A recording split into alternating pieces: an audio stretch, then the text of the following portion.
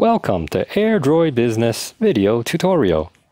In this video, we will learn about our cloud-based dashboard, the Admin Console.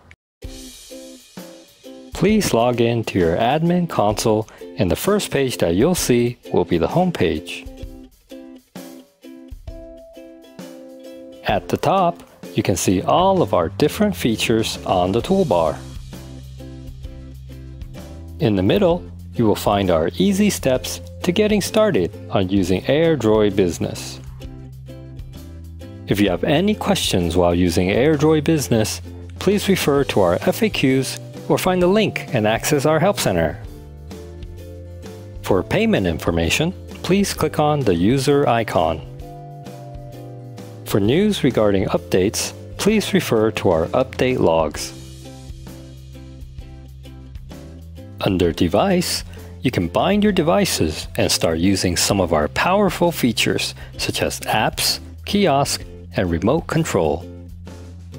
You can also manage your devices by checking the status and location here.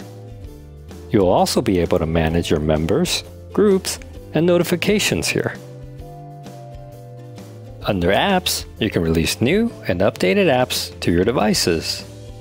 You can also specify the percentage of devices to receive your app release. Under Kiosk, which is a feature that allows you to lock down the environment of your devices, you'll be able to customize the layout of the kiosk and manage your app whitelist.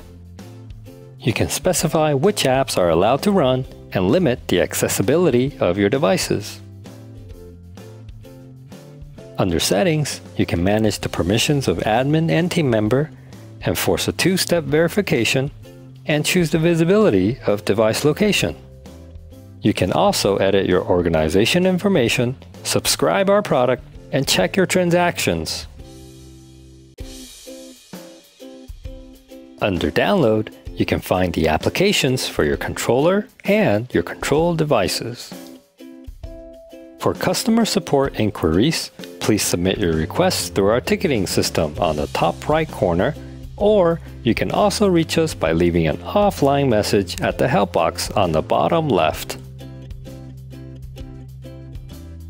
To further understand the robust features of AirDroid Business, please refer to our other tutorial videos.